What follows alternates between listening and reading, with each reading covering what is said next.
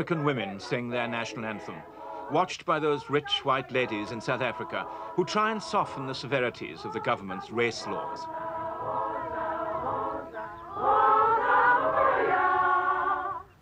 Who are these white women?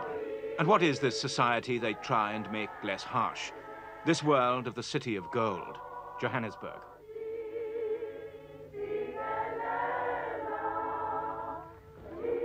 Only in the winter dawn could you mistake Johannesburg for a black city, before the whites are about. Many of these Africans set out from their homes 15 miles away at 4 or 5 in the morning. They travel on rough, overcrowded trains we were not permitted to film. To come to work, to be in Johannesburg, Africans need a permit. Without their permits or their passbooks, they can be arrested and detained at will.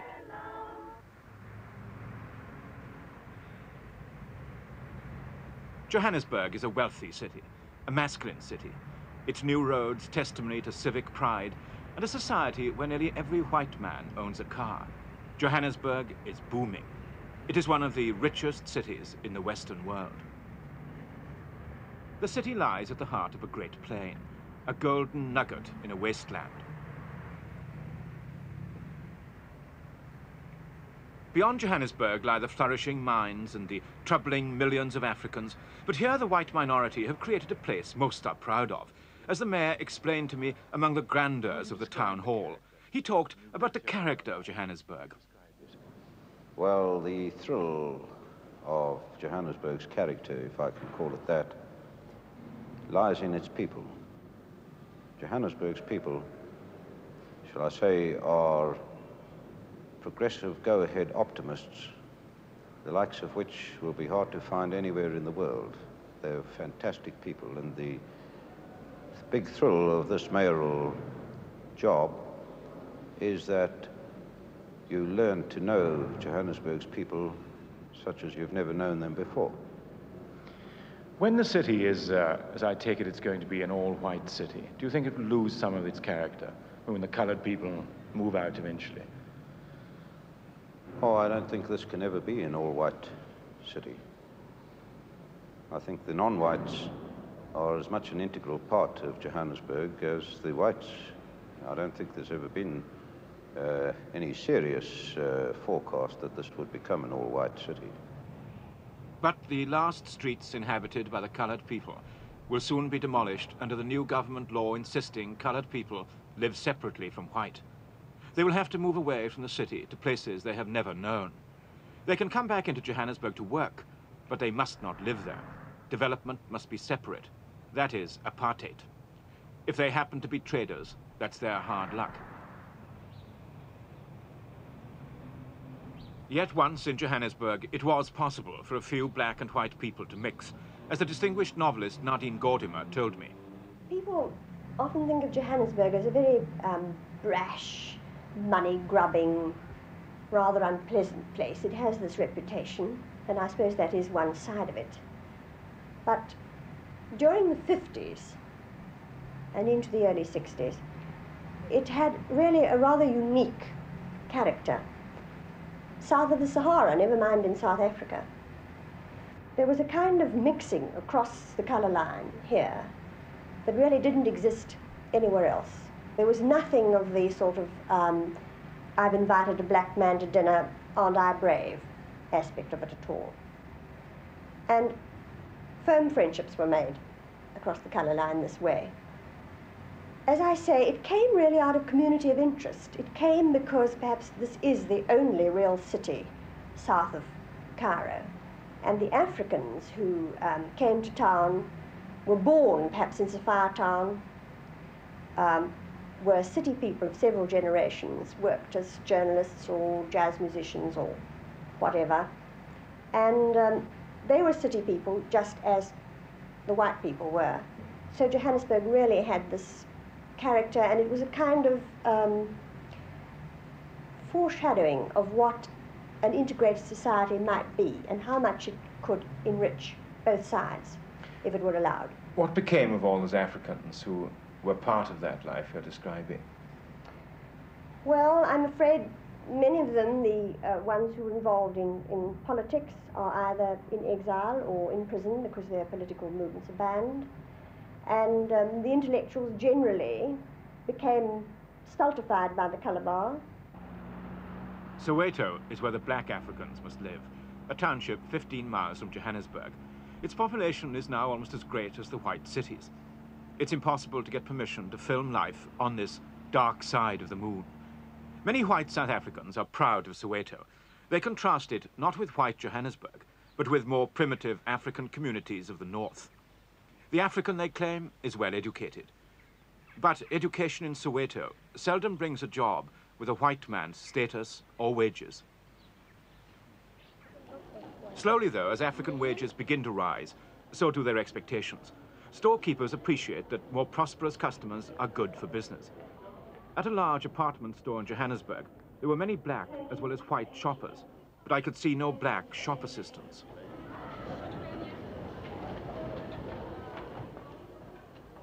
Whether wages should be higher for Africans was a question I put to the managing director of the OK Bazaar, Stanley Cohen. Yes, I definitely do, and I think they will go higher. It obviously must benefit us if they do, because they have to spend this money in the, in, the, in the stores and also helps them in their own standard of living and allows them to buy luxuries which they haven't been able to in the past. So uh, we're all for it. In fact, we pioneered the increase in wages in our type of organization. I noticed in your store here that no Africans are working at the counters. Is that because the whites refuse to work with them?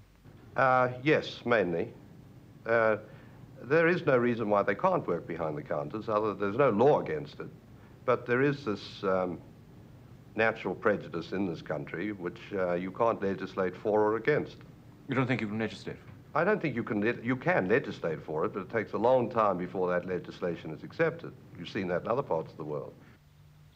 Wages are much lower at the gold mines. The workers offer their daily greetings to the white bosses.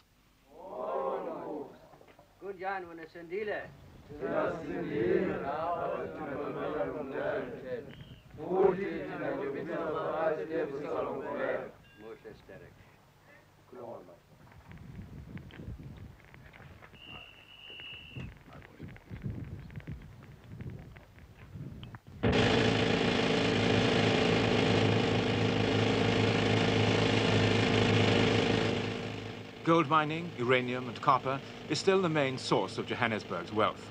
It employs half a million people. The wages of the Africans who go thousands of feet into the ground are 11 shillings a day. In mine disasters in South Africa, the casualties are almost invariably black. And the deeper down the mine you go, the fewer white faces. The Africans are migrants, brought in by the companies, usually on nine-month contracts, so they're separated from their families. This prevents new urban communities growing up near the white. But the African seldom sees the gold he produces, it's white men who handle it when it's separated from the dross. Gold, being precious, is a white man's metal. For white workers in the industry, wages are high, around 2,000 a year, and rents are cheap, often only £6 a month. White workers resist the promotion of Africans to skilled work. Gold bars have built the great mining and finance houses of Johannesburg. The famous businessmen of South Africa, the Menells and the Oppenheimers, have their headquarters here. Anglo-Vaal, Anglo-American and the rest have a capital of hundreds of millions of pounds. Nearly all the industrial barons are English-speaking. Many are Jewish. Usually they are hostile to apartheid, call themselves liberal. Yet for all their wealth and protestations, the nationalist government and policy remain unchanged.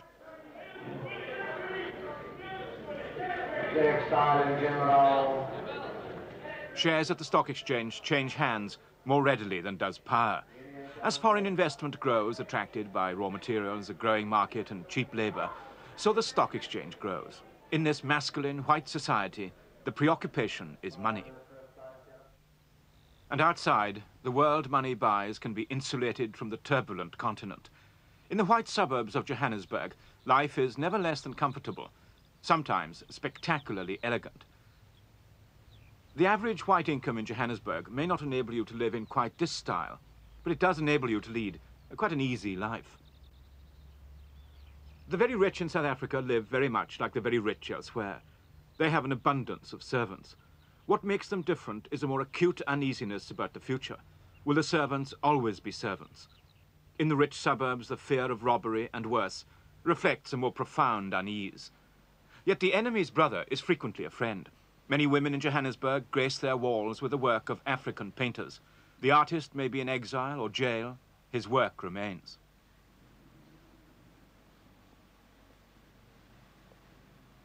It's in these suburbs that the few outspoken opponents of Prime Minister Vorster may still be heard, like the last Progressive Party MP, Mrs. Suzman.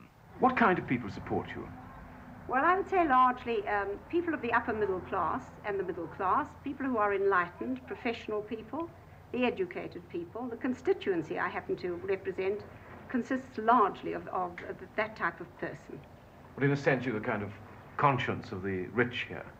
Well, I don't think only of the rich, you know, because we do have a, a wide cross-section of support in South Africa. It's not enormous in, in, in quantity, but uh, we do have people from all walks of life supporting us, and people of both language groups, although largely we get support from the English, uh, English-speaking group of South Africans. Does it strike you as strange that here you have your constituents, rich, powerful industrialists, and yet they have so little influence over the government? Yes, well, that's largely their own fault, I might say, because to a large extent the English-speaking group has opted out of politics in South Africa. They've left politics to the Afrikaans-speaking people, and therefore they play very little part in the, so far in the political development of South Africa. There are no lobbies, for instance, of any real importance. I suppose the big mining houses would be naturally consulted on any change in mine, mining law and so on, but, but certainly on the racial aspect they've got very little influence because all of them would like complete development on the economic, economic front without any regard to the um, labor situation uh, racially, for instance. They'd like to use the skills of all the non-whites, which they're not able to do under present laws. Is it fair to say that you have here a rich industrial community that says it's liberal and against apartheid, which has helped to produce an illiberal society by their inactivity? That they are, in a sense, well, very really responsible. Well, to some extent that is true because people who do nothing are responsible, I believe, for situations that have been allowed to develop simply by, by their own inaction. But on the other hand, the fact that the country has been developed economically by these particular people means that uh, the, the, the non-whites have been urbanized, they've been taught skills, and they have entered the economic field and have developed their own um, purchasing power, which is a very important factor today, and as I say, goes contrary to the political uh, aims and goals of the government, which is, as you know, is, is are, the, the goals are based on separate development, which I, for one, and my party certainly does not believe is in any way the um, alternative policy which can work. We think it's quite impossible. It does look as if the industrialists and the rich are getting the benefits of being apparently liberal and opposed to apartheid and yet having cheap labor at the same time. Yes, I think that I think that is that is fair comment. I think it is fair comment, and I, I see no reason why the industrialists, in fact, should not improve the living conditions of their workers. Uh, they should, of course, the government should set the lead. There should be a minimum wage, below which no employer should be permitted uh, to employ labor. There are, of course, minimum wages for certain occupations, uh, but not enough. And of course, the Africans don't have the benefit of collective bargaining which means their position is very weak vis-a-vis the other working uh, groups in this country, coloureds, Indians and whites. And they always, it seems to me, seem to be the people who pay for keeping down costs of production and who are, are I think, jeopardized as a result of this, certainly by this, their standards of living being far too low. Many of the people who run industry here in Johannesburg, while they'll talk to one in private, are very nervous, indeed will not talk in public. I mean, what exactly is it they're afraid of? Well, of course, the government wields great power in this country today. It's the hander-outer of con concessions and of permits and of import permits and so on. And people are nervous, you know. There's a tendency when the government is in such complete control as this one is. After all, it has a two-thirds majority in the lower house today. And it's very difficult for, for businessmen to run the risk of bucking the powers that be. I think they ought to, of course. I think they'd find it very beneficial, and I think they'd find the results quite surprisingly um, easier than they had thought. It's women, too, who created the Black Sash movement, a small organization to defend the old South African constitution before the nationalist government began removing its guarantees of freedom. The Black Sash women are not allowed to express political opinions to visitors, or their movement will be banned. the, the boss and they're taking me with me there. It's better. The boss will definitely give you a job. He wants to keep you. Yes, they want I do a job. I don't stay without the civil. All right. What they can do is describe their work in helping Africans suffering at the hands of the police. They have more and more cases of Africans being endorsed out, that is, expelled from their homes because papers have been lost or are not in order.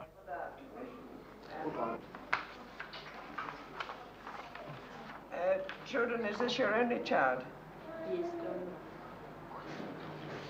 Um, have you got a birth certificate for her? Yes, I got. Hmm? It's a boy. It's a boy. Yes. Oh goodness, sorry, I thought it was a girl. And his Christian name? Jean Sinclair talked about the case she was dealing with. The thing was that she was born in Port Elizabeth and came up here only in 1966 and is living with her husband in his um, parents' house. But she entered the area unlawfully in that she didn't get permission to enter the area and she has no rights in Johannesburg and she has been warned to leave within 72 hours. But having lost her reference book, as she was born in Port Elizabeth, they refused to give her another one in Johannesburg. So the first thing that we have to do is to try and get her a reference book. She has an appeal against her endorsement out, but um, I'm afraid she hasn't very much hope of being allowed to remain. She has this one baby who was born here uh, last year, I think it's six months old, and um, he is lawfully in Johannesburg because he was born here, but his mother isn't. So the husband and the baby can stay here, but she can't. No, she, she's been endorsed out and told to go back to Port Elizabeth, or that's where she belongs. But she's also lost her right in Port Elizabeth because she's been away from there for more than a year, so that she has no rights anywhere now. Uh, uh, when she goes to, if she comes from the prescribed area of Port Elizabeth, she will not be allowed to remain in Port Elizabeth. The, will she be then separated from her family? Uh, Yes, I'm afraid so. But she will take the baby with her. I mean, uh, I'm afraid uh, the baby won't be able to stay here without its mother. So So the baby will lose its rights in Johannesburg as well. This polo club outside Johannesburg is one of the few working class polo clubs in the world, as they like to say. Like all sport in South Africa, polo is segregated. The Africans have no chance of a chukka. English polo clubs have visited this ground recently. They would not have been able to play had they brought a Maharaja or two with them.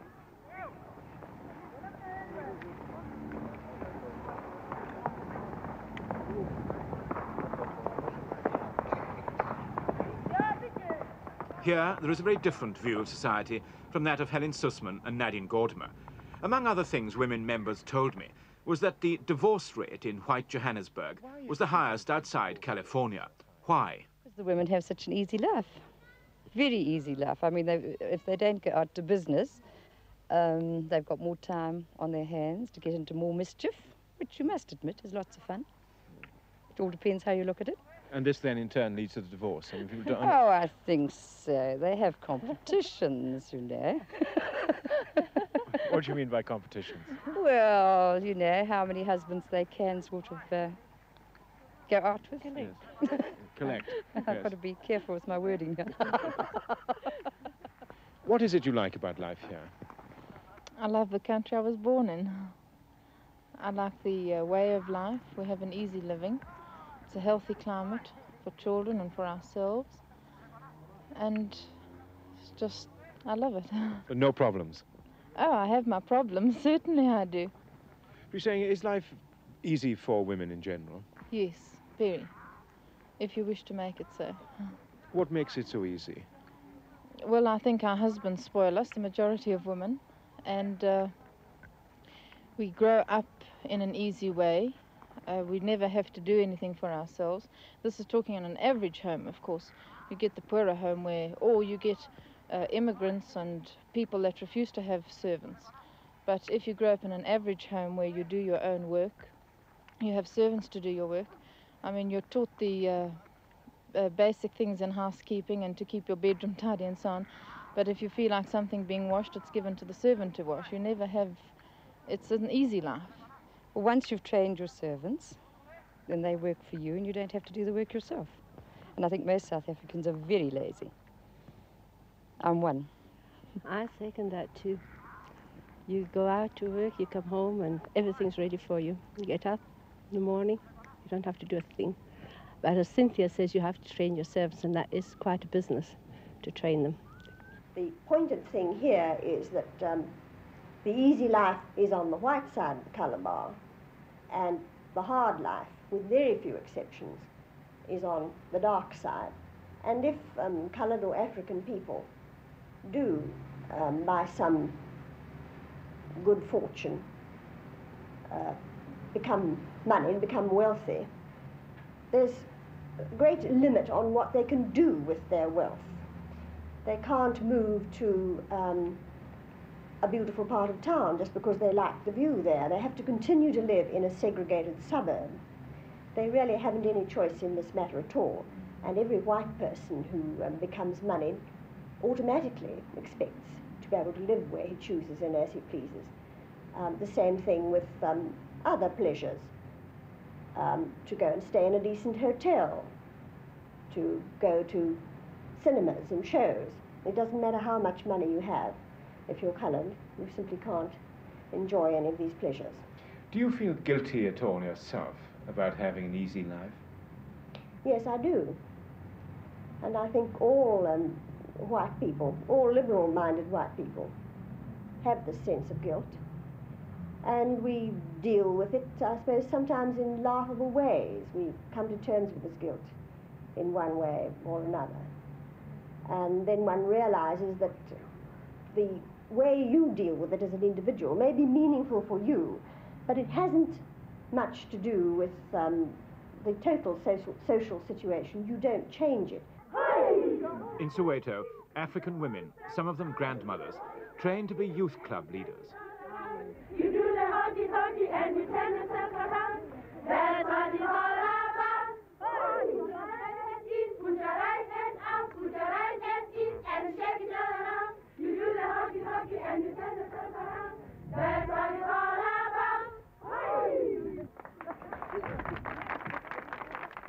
They are encouraged and financed by white women.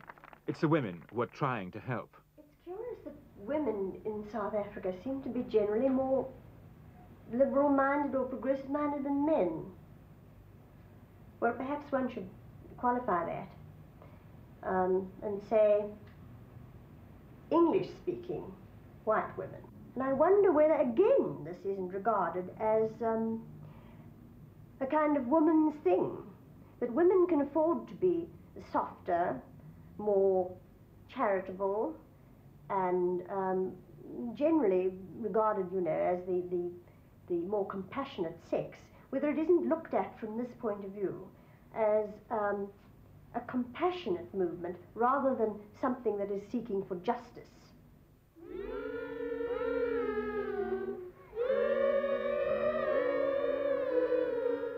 Help of the helpless, sing the nursery school children of Soweto, abide with me.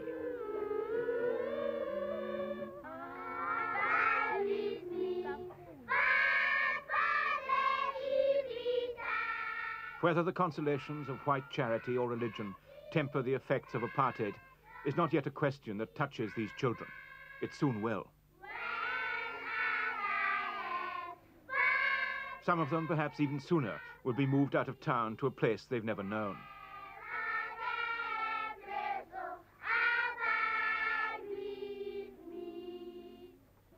Some may be lucky, some may be political and unlucky. None, if the present laws remain unchanged, will be treated as the equal of the white man in Johannesburg. Whatever the good women of Johannesburg may think, life is satisfactory for the great majority of the white people who live there. The majority have a strong view of visitors who criticize their country's racial policies. These people obviously haven't had to work with the Africans in this country. I run a help to run a dairy where I employ between 70 and 80 of these boys. I have the most mostly to do with the delivery boys, the milk service. And I feel if you treat them well, they do give you a certain amount back. But uh, they are very difficult people to deal with. And such as they, if you gave them a good hiding, they appreciate it more than if you gave them a big bowl of food for their children. They feel that that is straight talking. Do you think they have a very hard life? Uh, in cases, I do. Certain cases, I feel that they do. Um, such as their facilities aren't always what I feel they could be. But uh, they don't, they, they always revert back to their old ways. They don't appreciate what you try and improve for them. Do you think the servants or the Africans get a fair deal? I'm quite sure they do. I do think so. Do you think so? Oh, yes, because I think without the European paying them and looking after them and housing them, they'd go one way, they'd starve on the farms out, out in the uh, rural areas when they come home from their leave and they paid while they're on their leave. They come back and they're only too happy to be back again to get three square meals a day and a decent bed to sleep in. But do you think that they like you? Oh, that's a tricky question. It all depends. I mean, if you have a servant that you've trained that doesn't like you, will you just get rid of her and start again? I would like to see um, an integrated society um, where colour prejudice and racial prejudice has no place at all. And that perhaps is the ultimate reason why I stay here, that I hope one day to live in that sort of society here.